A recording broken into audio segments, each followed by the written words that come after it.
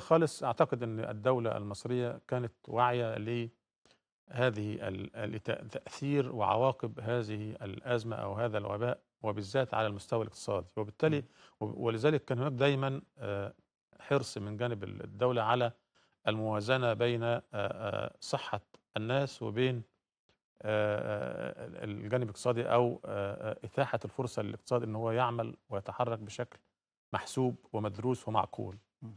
وهناك أيضا إدراك إنه تأثيرها عالميا هو تأثير اقتصادي بالأساس. يعني طبعا في سياسية وفي مناخية وفي إلى آخره لكن المسألة الأهم اللي هي شغل الناس كلها حاليا هي التأثير الاقتصادي لهذه الأزمة أزمة وباء كورونا على مستوى كل الدول مش على مستوى دولة بعينها. أنت لما تشوف عدد المتعطلين أو الذين فقدوا أعمالهم في الولايات المتحدة الأمريكية في الأسبوعين أو الثلاثه الأولانيين كان في 6 و6 من 10 مليون واحد سجلوا طلبات حصول على إعانة بطالة في أمريكا مم.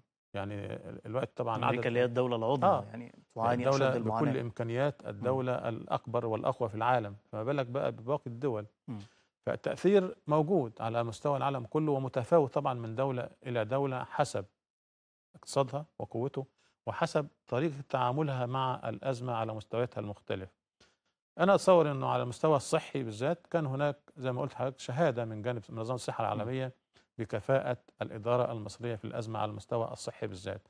على المستوى الاقتصادي أيضا كان ال- الرئيس آه، مدرك من البداية إنه لابد ال- عجلة الاقتصاد لا تتوقف إلا بالقدر اللي هو يعني آه، آه، ممكن يؤثر على صحة الناس. لكن. ما دام هناك آه، إمكانية إن يبقى في عمل وفي حركة م. وبالتوازي في حفاظ على حياة الناس وصحتهم فلا مشكلة ولا بأس. إنما في كل الأحوال أعتقد إنه آه، آه، اللي خدمنا كمان في هذه المسألة إن إحنا برنامج الاقتصاد الاقتصادي كان سابقا على الأزمة. يعني تصور إن إحنا لو كان هذا الموضوع فاجأنا ونحن قبل 2016 يعني البرنامج الاقتصاد الاقتصادي بدأ في نوفمبر 2016 وانتهى لحسن الحظ إنه آه، تقريبا قبل يعني.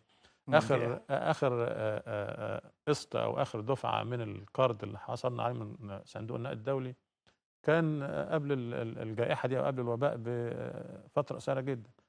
فهو ف يعني كان هناك يعني توفيق من السماء إنه هذا البلد لا تفاجئه ال- الجائحة أو الو- لا يفاجئه الوباء وهو غير مستعد أو ان اقتصاده غير مستعد. إنه ال- آه، إنه إن إحنا انتهينا أو كدنا أن ننتهي من الجزء الأهم من برنامج الإصلاح الاقتصادي قبل الموضوع ده خدمنا كثيرا. وهيبان كمان أنت لما تشوف تصريحات آه، آه، المسؤولين وبالذات الدكتوره هاله السعيد وزيره التخطيط.